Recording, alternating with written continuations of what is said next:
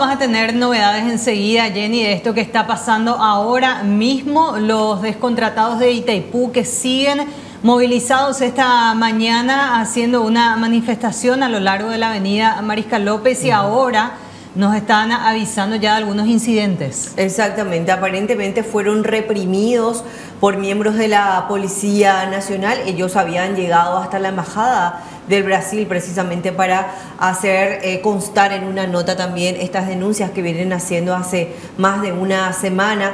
De hecho, ya el Ministerio Público de Ciudad del Este los había eh, incluso procesado a varios de ellos por manifestación pacífica en este caso. Así se daba esta movilización esta mañana hasta que en un momento dado, según la denuncia que realizan los descontratados de Itaipú, comenzaron a darse escaramuzas con la policía recibieron ellos gas lacrimógeno por parte de los policías. Reitero esto, según la denuncia que están haciendo. Esto en medio de las declaraciones que daba hace un rato nada más el presidente de la República de que sentía mucho la cantidad de personas brillantes que ingresaron, pero decía el presidente, dentro de los que no ingresaron también hay jóvenes muy capaces y que el proceso no se dio de manera regular, es lo que ratificaba el presidente de la República. La pregunta que se hace es por qué no revisan caso por caso, como así lo están solicitando. Lo que dicen eh, los desvinculados es que ellos no están exigiendo que sean reincorporados inmediatamente. Ellos tienen como comprobar sobre todo este proceso que se llevó a cabo para quedar como seleccionados dentro de la Itaipú binacional. Bajo la lluvia estaban Fíjate, Sara, esto ocurría hace algunos minutos nada más eh, y fueron reprimidos con gases lacrimógenos ahí a, una cuadra antes de Murvillaroga prácticamente, antes de llegar a la embajada americana. sí, antes de la, de la embajada. Decían ellos eh, marchando hacia la Cámara de Diputados primeramente, después eh, se movilizaron ya hacia la Embajada de Brasil y siguieron camino intentando llegar hacia Hamburgo quedaron unas cuadras antes. Y estas son las imágenes que nos comparten del momento en que se daba ese enfrentamiento con la policía. No estamos entendiendo por qué. Aparentemente ellos querrían, habrían querido avanzar más y allí fue donde se dio la fricción que finalmente terminó con esto. Un tanque, incluso un carro hidrante de la policía acompañaba esta movilización y Decíamos, Jenny, también, por lo que dijo el presidente de, la mañana, de esta mañana, se ve difícil una revisión caso por caso. Exactamente, compartimos parte de lo que decía el presidente Santiago Peña minutos antes de esta represión que se dio ahí sobre Mariscal López. Los procesos de selección en Itaipú típicamente llevan 180 días.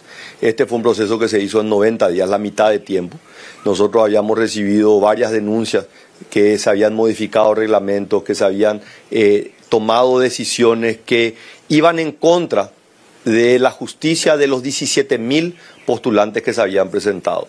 Yo lamento muchísimo porque en los cerca de 170 eh, o 180 ingresantes hay personas brillantes, hay personas eh, muy, pero muy dedicadas, personas que tienen testimonio de lucha, que se han preparado, que han trabajado, pero también así hay dentro de aquellos que no pudieron ingresar también cientos, miles de historias de jóvenes que anhelan ser considerados y lo que piden es un proceso justo. Así que estamos trabajando para que esto se pueda subsanar lo más rápido posible. Vamos a tener un contacto ahora con Giovanni Melone, él es uno de los descontratados, estuvo en la movilización más temprano, Jenny, y esta denuncia de que hubo una represión policial allí sobre la avenida Mariscal López. Giovanni, contanos qué fue lo que ocurrió. Buenas tardes. ¿Cómo te va? Te saluda Luis María Rivero, el, compañero Giovanni está en dispuesto.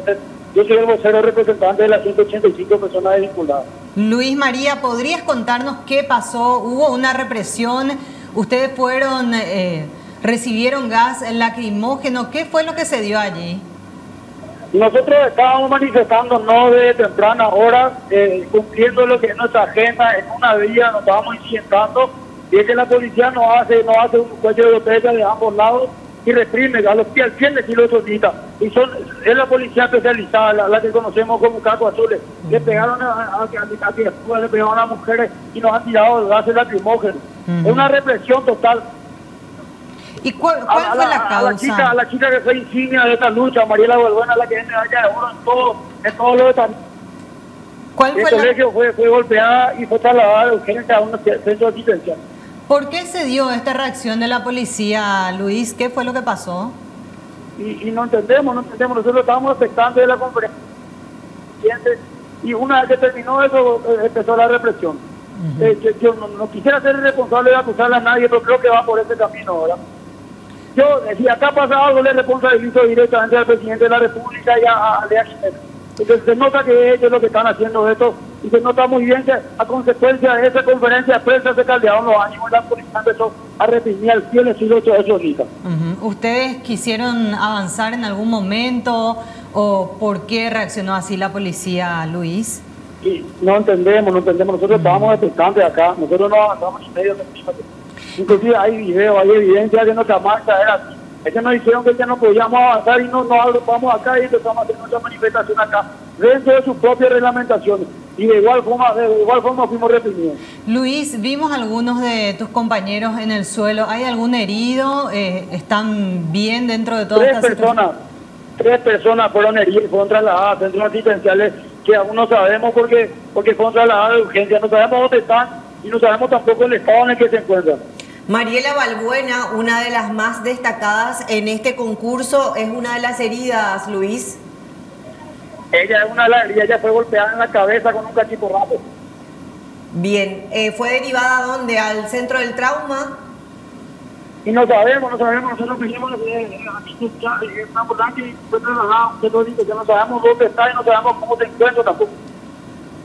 El Luis, o sea que además de que ustedes recibieron gas lacrimógeno, fueron también golpeados con un cachiporra. Cachiporra, también tiraron gases lacrimógenos. Ay, la, la, la compañía video tiene, ay, están todo evidenciado, están todo grabado. Luis, ¿qué es lo que van a hacer a partir de ahora? Tenemos información de que están enviando incluso refuerzos.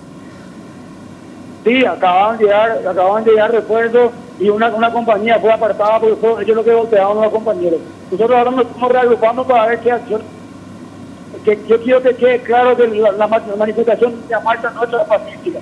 Y nosotros en ningún momento tra- tratamos de incidentar ni, ni de incurrir en actos vandálicos. Fue represión que de la policial sin ningún sentido. ¿Van a seguir movilizados, Luis? ¿Cómo? ¿Van a seguir con estas movilizaciones? Y ahora nos vamos a reagrupar y vamos a tomar la- las decisiones pertinentes. Vamos a estar informando a la prensa cualquier decisión que se tome. Ya.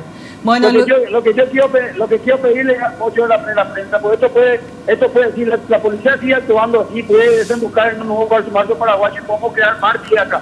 Personas jóvenes preparadas, profesionales que pueden ser afectadas por esta, por esta policía. Bien, Luis. no hay, no hay un canal de diálogo con el gobierno, Luis. ¿No lograron conseguir eso? No, el presidente salió, salió inducido por la ministra Lea Jiménez, salió a decir un montón de barbaridad hoy, sin siquiera tener conocimiento de lo que está sucediendo. Sí, efectivamente es así, Jennifer. Los eh, manifestantes, en este caso los funcionarios de Itaipú Binacional descontratados que ingresaron por eh, concurso de oposición, eh, vinieron a manifestarse en las inmediaciones de Emburubizaloga. Hay tránsito bloqueado en estos momentos en la- desde Kubitschek hasta la avenida General Santos inclusive.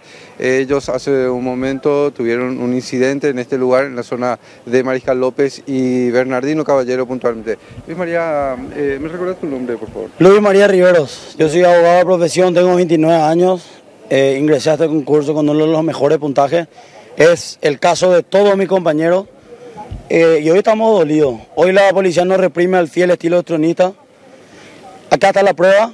Hoy nos han arrojado tres de estas cosas, han golpeado a tres de nuestras compañeras. Nuestra compañera insignia de la lucha, la compañera María, María Balbuena, fue, fue trasladada a un centro asistencial porque fue golpeada en la cabeza con una cachiporra, producto de la excitación de, la policía especializada, lo, que le, conocemos como casco azul. Estamos dolidos, Estamos dolidos. Yo, personalmente le hago responsable al presidente de la República y a la, a la señora Lea Jiménez y hoy, hoy esto desemboca en un nuevo parso paraguayo.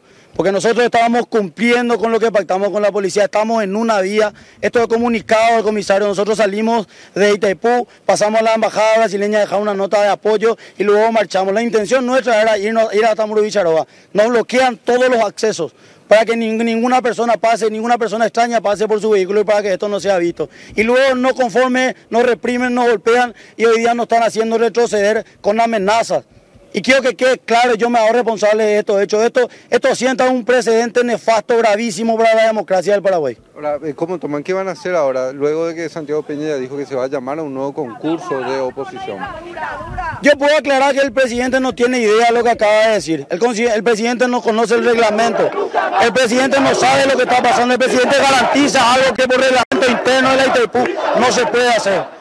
Y, todo esto yo, creo que es porque, porque le están metiendo ya en la cabeza. Y es la señora Lea Jiménez. Hoy vimos la entrevista cómo le estaba hablando al oído.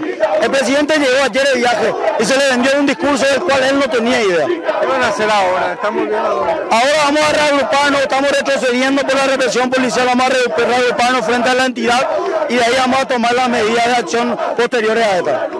esto, esto ustedes mantienen en vigilia permanente. El día de hoy, por lo que ha hecho la policía, vamos a mantenernos en vigilia eh, presente frente a la nacional y de ahí vamos a trazar una nueva ruta. Porque esto, esto, marca, esto marca un antes y un después para nuestra lucha. Bueno, ¿se mantiene entonces su postura ustedes? Nos mantenemos porque el derecho que hemos ganado nadie nos puede sacar. Estamos en un estado de justicia, en un estado de derecho y eso no se resuelve con represión policial. Eso se resuelve con diálogo, como venimos, como venimos pidiendo desde el día uno, que el presidente nos reciba y no nos reprima. Esta es la prueba, esta es la prueba de que hubo represión, esta es la prueba de que hoy día nos quieren callar con represión policial ambiente que se vive en estos momentos sobre Mariscal López, inmediaciones de la calle Bernardino Caballero. Y recordemos que está bloqueado todo el tránsito sobre Mariscal López desde General Santos saliendo de Asunción hasta la avenida Kubitschek, inclusive con un fuerte dispositivo de seguridad los manifestantes eh, que ingresaron por concurso de oposición a Itaipú están manifestándose y también eh, ellos mm, mantienen esta postura, se van a mantener en vigilia permanente, se vuelven a reunir frente al edificio de Itaipú Binacional y luego van a ver qué decisión van a asumir en torno a eh, próximas acciones. en base a lo que declaraba el presidente de la República, que se va a volver a llamar a un concurso de oposición para ingresar a la institución.